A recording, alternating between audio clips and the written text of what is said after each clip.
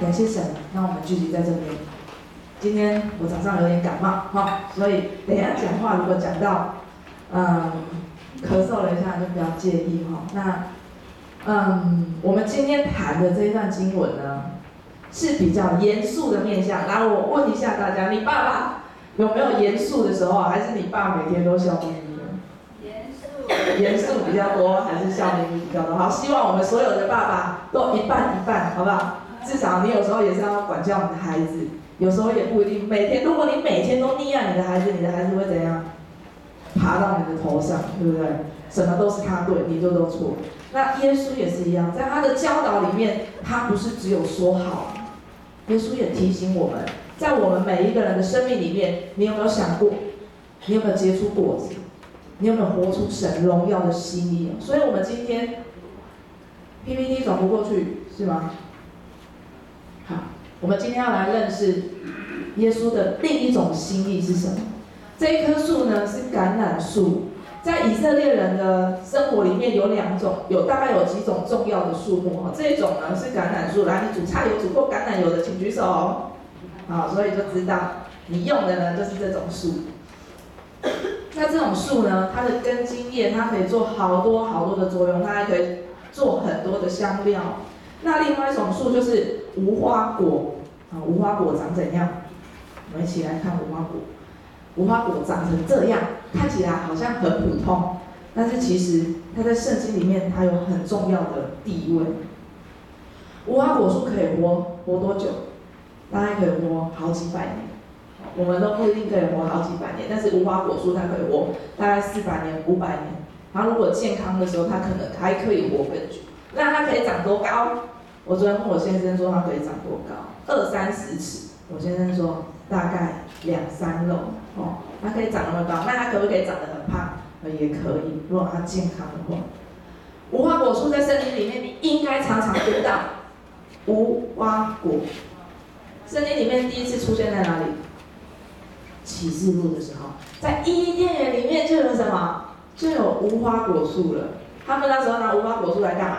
做衣服。所以你想都可以做衣服了，那无花果树的叶子应该可以很大。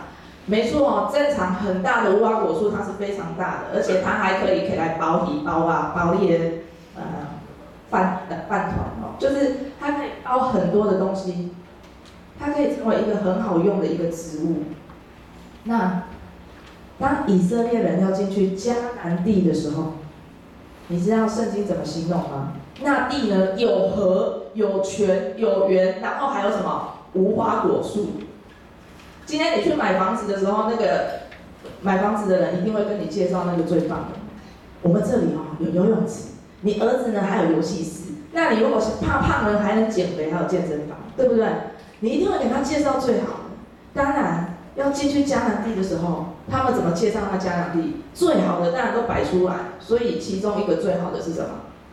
就是无花果树，好，那无花果树有多多哦？我们知道他们要进去迦南地的时候，惊惊啊，唔敢入去，怕那里面有什么东西，所以他们就请三个人先去，带回来那边最丰盛的三样土产是哪三种？第一种就是你们最近常吃的葡萄的产季，葡萄。第二种番石榴，第三种就是什么？猜一下今天的题目。哎，无花果，他们带回来就是无花果，所以无花果在整个以色列整个那那个地方是一个非常盛产的一种水果。圣经里面形容它多好吃，你知道吗？又甜又多汁。卖水果的老板都怎么卖？哦，我这低哦，阿哥自己就讲这。圣经里面把无花果介绍的非常好。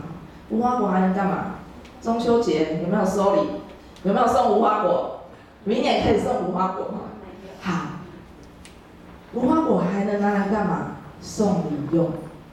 你知道亚比该的先生惹毛了大卫，大卫很生气，说：“我一定要过去宰了他。”亚比该怎么样？赶快准备无花果饼送给大卫，大卫气就消了。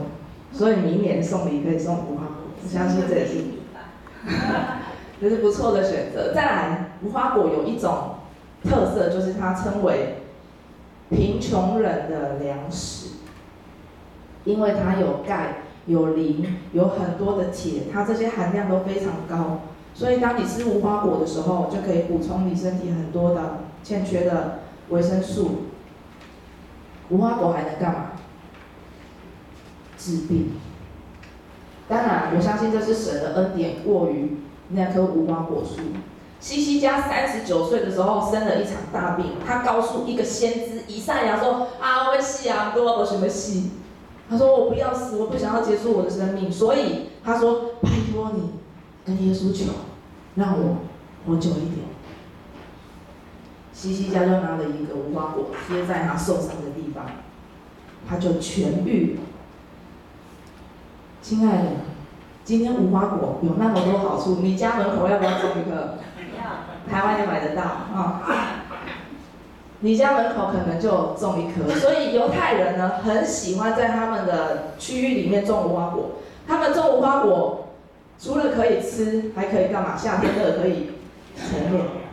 你知道他们种无花果就如同他们夏天哦，我们在底下那个烤肉吃柚子，他们坐在那里就跟我们烤肉一样快乐，因为那个是一个很放松、很轻松的时刻。那回到今天的经文，耶稣来到一棵无花果树前，经文怎么说？啊，我远远的就看到你了，啊，远远就看到那一棵无花果树，耶稣就往那里去，他希望在无花果树里面找果子。可是圣经里面写什么？圣经里面写说，那还不是无花果结果子的时候。哎，人家就还没结果子，你干嘛硬要找人家的果子？我们如果看无花果树，认识无花果树，你就知道无花果是一个很特别的植物。耶稣进去呃进到那个地方的时候，进到耶路撒冷的时候，大概是四月份。无花果树几月开始长？五月、六月。那你猜每一棵树长得都会一模一样吗？有的树总是会比较调皮，长得比较快，对不对？你的孩子有些根本就国小一年级，人家看起来都阿力和萨尼亚，为什么？因为他就是长得比别人高。那无花果树会不会先偷长？会，它有可能会先偷长。这棵树呢，它偷长了树叶，但是无花果有一个特色，你看到它的树叶，你一定要看到它的果子，这就是它的特色。所以如果它已经先偷长了树叶，请问它还要带什么？果子。这样才是一棵正常的无花果树，所以耶稣并没有刁难他。耶稣从看到他有树叶的时候，就想说：哦，那你应该长一些果子。无花果树就这样长的果子是幼小的，它还是可以吃哦，只是没那么好吃，但它还是可以吃。那今天这棵无花果树只有树叶，耶稣找得到果子吗？找不到。耶稣跟他说了一句话，他说：从今以后。没有人会再吃你的果子。从今以后不会有人再吃你的果子。有人说哈，因为这一周已经是耶稣要上耶路呃要上十字架的前一周，人家就说耶稣哈一定是因为要上十字架，所以心情不好，然后呢就骂了那一个果子。或者是呢，你肚子饿的时候会很生气，会，所以耶稣一定是因为肚子饿的时候生气。你觉得你认识的耶稣是这种耶稣吗？不是。耶稣是用什么心态？这才的心态。如果我今天是一个龙菇长出来的果子，跟我想的完全都没有长出来，你会怎么样？吓一跳，想说啊，我那么用心栽培你，你竟然这样。今天你当你是一个农夫的时候，路加福音有讲一个比喻哦，他说有一棵无花果树被种在人家的田里。然后主人来的时候，想要收什么？收树叶吗？不会。你如果是主人，你一定吃果子。你会吃树叶吗？当然不会。他想要收果子，收得到吗？收不到。这时候主人就怎样？生气了，叫他们家管员的说：“来来来，你来，把它给怎么样？狠一点的就怎样？砍了，对不对？然后心软了一点就施肥嘛。然后主人就很不开心，就说：你把它砍了。”那他很好互相搭配。他的管员是心软的，所以结婚就要这种，就说不要啦，我在三年后，然后我们再看看怎么样。今天当你是一个农夫的时候，你会希望你的树是长这样的吗？你一定不希望它只有果子。同样的，今天耶稣到那一棵树面前，他一定也希望我的无花果是长这样的，他才能得保住。那今天耶稣讲这一段经文，到底要提醒我们什么？不要只有重视美丽的外表，而忽略到你的内心，忽略到你没有你你不重要的。在圣经里面的无花果树，仅次于葡萄树。圣经里面提到最多的是葡萄树，第二种树就是无花果。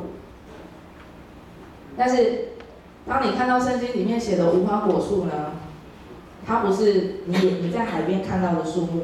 也不是你走在温哥华看到的樱桃树，也不是你今天在你家门口看到的龙眼树，不是这么普通。圣经里面的无花果树是要提醒所有的以色列人，你们就如同这棵无花果树一样。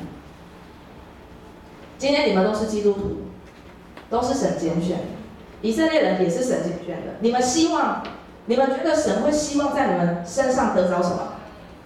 得着帮助人的恩典。得着你身上有的恩赐，然后去发挥出来，去影响别人。神也希望在以色列人的身上得到这些，但是当时的犹太人有吗？没有。当时的犹太人甚至还诅咒外邦人哦。如果要比较好懂的，就是所有的基督徒都看外面拜拜的不开心，就说啊，你拜拜你不好。所有的基督徒看不起外邦人，就当时的。嗯，犹太人他们看不起外邦人一样，他们觉得哦，你们都不是神选的啦，你们这些人哦都是神不要。但是耶稣提醒他们，你们只有很好看的外表，没有真的有爱的内心。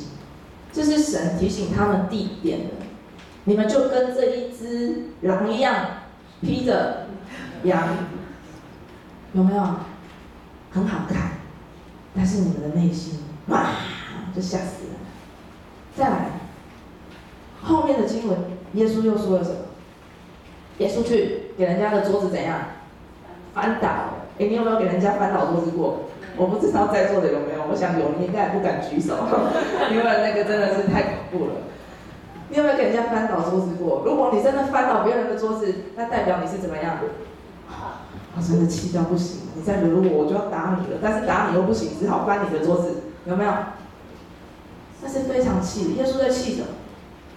耶稣在气，他们把所有的圣殿里面都变成了买卖的地方。来，我们赶快来买，我们教会卖很多东西，变成买卖的地方，甚至他们又从这里面得到很多的利益。耶稣看这一点，觉得哦，不行。除了这一点以外。你知道人家当时的教会盖得多漂亮吗？他们从教会出来，他的门徒跟耶稣说：“耶稣，你看，这是何等的石头，这是多么漂亮的石头，这是多美的石头，这是何等的殿宇，这是一件很美的教会。”但是他们的内心好吗？还记得那只披着狼的羊，披着羊皮的狼吗？就跟那那一只狼一样，外表好漂亮，内心呢，好。所以各位姐妹，我们就知道，在这里面，耶稣用了两个比喻，提醒了犹太人：你们不要只注重你们的外表，你们应该去想想看，你们里面顾得多好。这让我想到韩国人跟台湾人，我们都很疯整形。我这边不去整一整哦，就看不顺眼。我的鼻子如果没有高一点哦，戴眼镜都会掉下来，但是这只是借口。我呢，如果没有去打一下肉毒杆菌，我的皮肤就会掉下来。我们都只在乎我们的外表，但是你有去想过你的内心吗？哈，圣经里面提醒我们要整形的人哈，他说艳丽是虚假的，美容是虚浮的，为敬畏耶和华的。怎样？所以下次你如果要去花十几万之前，记得来找我，我送你这一节经文，你老公就会请我吃饭，因为这样就省很多钱。先提醒我们，不要在你的外表只注重你的外表，而没看到你的内心。今天我我说叶子可以长得好大，可以做很多事情，但是却没有注重到你的内心。所以我们不要像他们一样，就是故意投很多的零钱，让人家听到。神重视的是后面的人，虽然他只有十块钱，可是他奉献那十块钱，耶稣就说：“你真是太棒了。”你不一定要奉献一百万，就算你有十万，耶稣也是一样，觉得你奉献很多哦，把你那剩下的哦，我刚刚本来要讲十块，讲成十万，把你那最小的、最你愿意献给神的，神就看那个为宝贵。这个人大家认得吗？可能胖了点嘛，他最近，他叫做马丁路德。马丁路德为什么会进行宗教改革？因为他看不惯当时，来，我可以叫气头掐小去，认得吗？意大利的某个啊，问你长老去过哦？下次可以再跟他叫他开团。好，去过这里的人就知道，这是圣彼得大教堂。当时他们为了盖这个教堂的时候，他们去贩卖天主教去贩卖赎罪券，赎罪券，他们就说，如果你今天犯罪了，你就拿一千块给我，我就给你一张券，然后你的罪就怎么样？通通没光光，所以他们就去卖这种券，甚至他们为了，呃，就是收更多的钱，他们就去骗那个底下的平民，说，哎，我们还缺五十万，然后对这个看起来比较有钱的就说，哎，我们还缺八十万，啊，这个看起来更有钱，就说，啊，不然你捐一百万好了。他对于每一个人都收很多很高的钱，但是都是骗他们，底下的人。都很辛苦，那马丁路德就起来，告诉他们说：“你不可以这样。”他就发起那个宗教改革。感谢主，因为他的改革，让我们现在还有这么美的传统。好，第二个，这棵无花果树提醒我们什么？活出你现在在你的生命里面活出神的信仰。第一个，从你的环境开始。你知道台湾现在面临什么吗？空气污染。再来呢，土石流；再来，地层下陷；最后，治安。你如果想说这些都跟我没关系，那你一定会烦恼以后你的孙子怎么办？从你的环境里面开始去活出神的旨意。再来，不是只有听到而已，你要去行。今天在这里不是只有听听而已，而是你要走出来。神的荣耀在你的生命里面，那个东西你要彰显出来，不是我们在这边讲一讲而已。台湾有很多人开始喜欢参加很大型的特会，他们期待的是什么？我被圣灵更多的充满，而且呢，神一定要医治我，而且神一定要赐给我很多东西，然后我就可以怎样？可是大部分的人有一半的以上听完那个特会回家睡一觉起来，或许火热的一个礼拜。在，他就有信心软弱了，要怎么办？再赶快去参加一个更大的特会。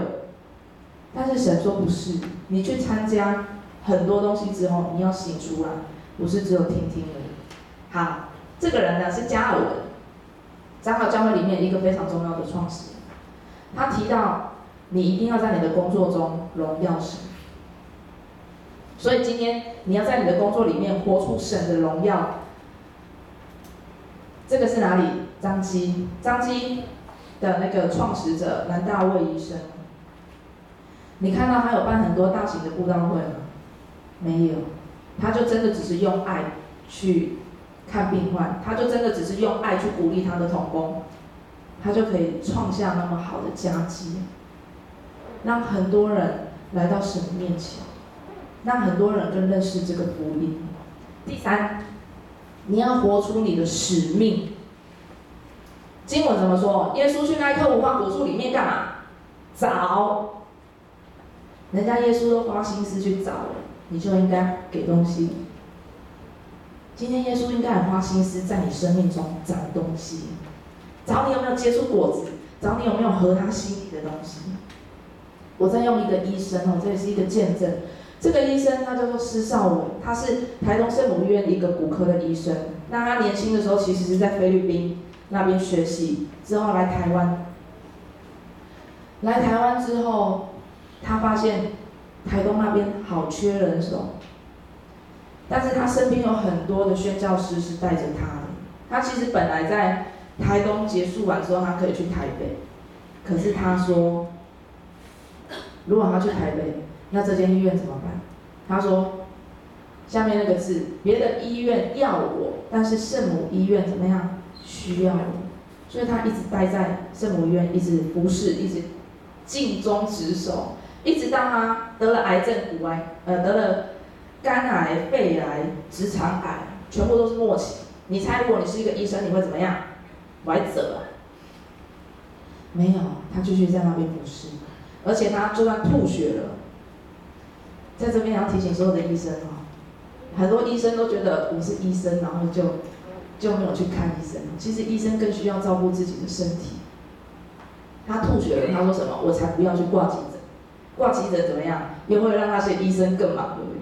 所以他没有去挂急诊，一直到他生病呃过世的前四天，他跟他的老婆说：好。我看我真的不要去上班了，我太瘦了，病人看到我应该会吓一跳，所以他就没有去。四天后他就过世。但是他的生命里面，他帮助了圣母医院很多，他帮助了很多人。所以最后，他提醒我们不要做糊涂人，要明白主的旨意是什么，聚焦你的目标哦。你有没有玩过那个放大镜？放大镜放在一个点，太阳照下去会怎么样？起火。你有那个目标，你就有那个使命，你就会知道哦，我今天起床不是白活的，我今天起床蛮有活力，我今天起床我知道我要做什么，而且人有一个弱点就是容易分心。当你有一个目标的时候，你就不会容易分心，而且你知道神要你做什么。最后比较两张图，第一张图。好多什么奖杯，要从最小的赢到最大的才算是最厉害。那你现在进阶到哪里？红色框框框起来那里？还是你已经赢一排了，在你家？很多人在他的生命里面，他想要赢那么多奖杯。有一个博士，他说：“我这一辈子啊，最光荣的就是什么？为我的母校争取更多的奖杯。”所以呢。他就在他的母校里面排一排，全部都是他打网球的第一名中，排很多。他年老的时候，收到一箱东西，里面全部都是他的奖杯，就有里面就写说：“你好，这个是你在年轻的时候为学校赢得的奖杯，我们在储藏室里面找到，所以呢，我们现在寄还给你，看你有没有作为留念。当你觉得别人看为很重要的时候，你离开几年。”那个东西就已经被放到储藏室里面，所以当你在追求这个世代的很多的东西的的奖赏，很多东西的给你的鼓励跟你的目标没有，神没有这些东西。你的生命结出果子，这是最后一张图，影响别人，让那个人的生命全部都改变，甚至让他的生命得救，让他的家人也都得到影响。你觉得？这一张奖杯跟后面那一张果子，你会选哪一种？我相信神今天既然都已经站在我们面前，要找果子，盼望我们每一个人都能活出那个有果子的生命。我们一起要来唱我们今天的回应诗。在我们预备的时间，我们可以再想一下，如果。耶稣现在就站在你的面前。如果他，你可能跟他说，他现在就还不是结果子的时候啊。可是神说，你已经是一个基督徒了呢，你已经长出叶子了呢。你有没有把那个果子？神有要，他有说，哎，我要找一百颗我吃得到，没有。神啊，一颗也好，在你的生命里面，你有没有影响过？我们一起站起来，我们来唱这一首歌，我深渴望。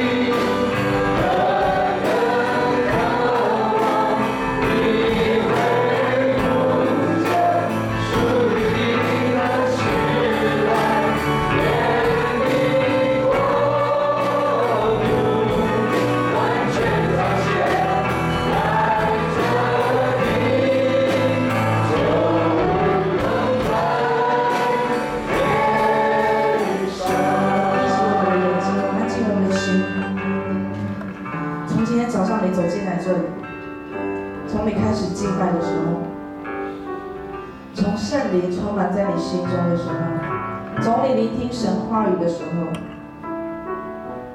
到等一下，你要走出这间教会，你有想过别人在你生命中看到你结出什么样的果子？当别人看到你的脸的时候，是想说哇，这个人看起来怎么这么可怕？还是看到哇，这个人的生命里面怎么蛮有喜的？你要给人家找什么？当你回到家的时候，人家是说哦，爸爸妈妈回来了，东西赶快收一收，还是跑去门口迎接你说哇，我的爸爸妈妈回来了？当你的爸爸妈妈看到你的时候，是说这个孩子是让我头痛的孩子，还是说？这个孩子，他尽了他的全力，在神的路上奔跑。亲爱的弟兄姐妹，我知道活出神的荣耀不简单，那个果子是我们努力去结出来。但是神说，我要在你的面前找着这个果子，盼望在我们每一个人的生命里面都能找着这个果子。我们一起。再来唱这首歌，天父，我不求你。